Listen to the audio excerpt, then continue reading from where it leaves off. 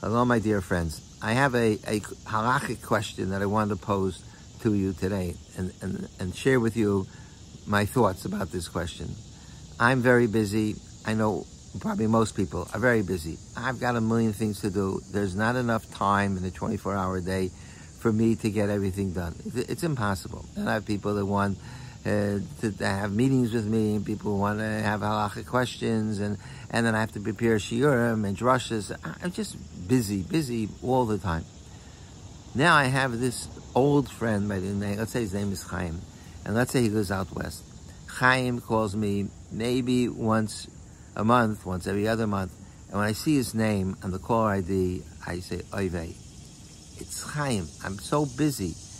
And, and oh, Chaim does not get off the phone. I can't have a short conversation with Chaim. Guaranteed I'm going to be on the phone with Chaim at least a half hour, maybe 45 minutes. And I, I tell Chaim over and over again, Chaim, I gotta go. I have people waiting for me. I have to answer a shayla. I have to finish preparing my, my shiur. The Chaim says, Yaakov David, just give me one more minute. And what does Chaim talk to me about? Is, is it anything of, of significance and import? No.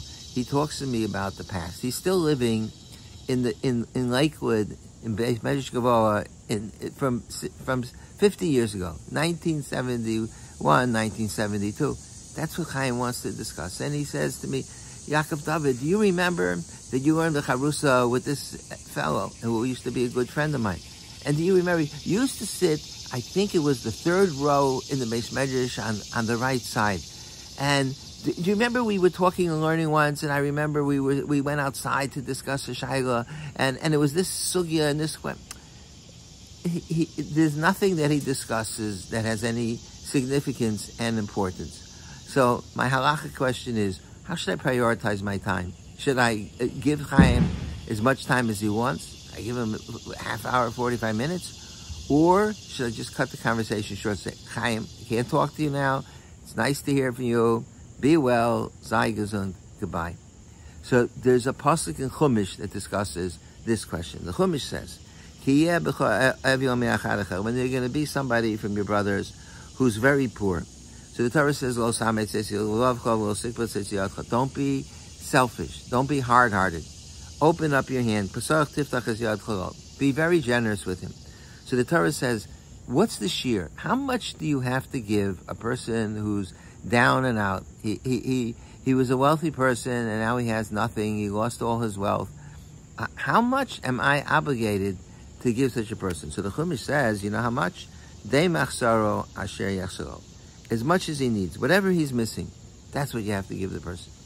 So you'll say, I mean, whatever he's missing. Let's say he used to be a millionaire and he lived in a fancy house and, and he had uh, four cars then he would go on vacation uh, every other week. I have to, and, and, now he feels bad that he he doesn't have that. He's missing it. That's what he's missing. Do, I have to do I have to go and, and, and make that up for him? Do I have to give him that much money for tzedakah? So Rashi says that de machsaro ashiro. I don't have to make him wealthy again. He, he, he, he used to be rich, so he used to be rich. I don't I don't have to help him out that he should become wealthy again. But Rashi says what, so what does Asher Yachshalom mean? What does it mean? What he's missing? What, what's the shiur? What does it mean? How much is he missing? So Rashi says, "Afilu sus lirkavalav the eved larasufanav." This Rashi is astounding. If he if he used to ride a horse, I mean, the equivalent is he used to ride. I don't know fancy cars. My kids will make fun of me. A Ferrari or a Cadillac or whatever. But he had a fancy car, and a Mercedes, Mercedes Benz, whatever it is, and he he he had a servant that would walk before him, and he would he would call out, "Make way for Mister So and So, who's the, one of the most prestigious people in our city." So now he can't afford the, the horse, and he can't afford the servant to proclaim that he's coming. So uh, Rashi says. What he's missing is that's what he's missing. He's missing the horse. He's missing the, the servant. So the question is, what's going on here? What, what, what, how could that be? The, the man is living in fantasy land. He used to be a wealthy person. He had a, he, he, he drove a horse. Now, or he had a fancy car. Now he has to take public transportation. He can't he can't drive a fancy car anymore. He can't even drive a cheap car.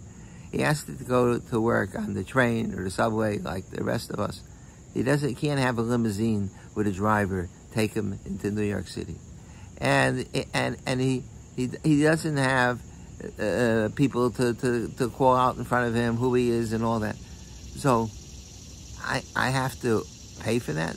I, I don't have a servant that walks in front of me and says, hey, guess what, who's coming? Yankel Luban. Why, why do I have to support that? And why, if he wants, if he wants to drive a fancy car, I don't have a fancy car. Why do, why do I have to pay for him to have a fancy car? And if the best he could do is, is, is manage with, with public transportation, so be it. You know, why doesn't he wake up and smell the coffee? He, he, he lost his money. You can't live like a rich man if you're poor. So the answer is here's a very, very important principle. And that is, Asher Yachsalo. It's what he's missing. And here I'll share with you a, a, a famous story that it, it, that it explains exactly the point. The the uh, Moshe Leib Sasover was one of the great Hasidic masters, and he said that he learned what it means to love a fellow Jew, Ahavas Yisrael. He learned from two shikurim, two drunkards, who were sitting in a, in a tavern. He happened to be there. He was staying overnight in the, in the, in the inn, and in the in the tavern that was attached to the inn, there were these two Russian peasants, and they were drinking, and they were both shikar. One of them was was Ivan, and the other one was Boris. So Ivan says to Boris, Boris, do you love me? So Boris says, Yeah, of course I love you. He says, No, no, Boris, do you really love me? So Boris says, Yeah, I really love you. So he says, Well, if, if you really love me, tell me what I'm missing. So Boris says, Ivan, I love you like a brother. How should I know what you're missing? I'm not you. You know what you're missing. I don't know what you're missing. So Ivan says, Boris, if you really loved me, you would know what I'm missing. And the Sasover Rebbe said, he learned from that, that Ahavas Yisrael means that you know what hurts a person, you know what pains a person, and you know what the person's missing. And if you don't know what the person needs in his life to make him or her feel better, then you haven't satisfied the requirements of Ahav of Ahavta Reacha Kamocha. That's what he learned from, from these two people who were sharing a drink together. The Chumash is saying that everybody has certain things that are crucial to them. The person, this person that are Asher that he's missing. This person, yes, he was wealthy, and you, you are not required to, to, yeah, he would like to become a millionaire again. But one thing he, he needs to hold on to is his kavod, his dignity. He, he's not accustomed to, to taking the subway. It's, it's humiliating for him. He had this beautiful car, and that, that made him feel a certain sense of, of prestige, of importance. And now he has nothing. Now he's lost everything. His house is in foreclosure. His, his, his life is in, is in shatters. But he wants to have a little bit dignity from the past. That's Asher Yachsalo. And am I required to provide that?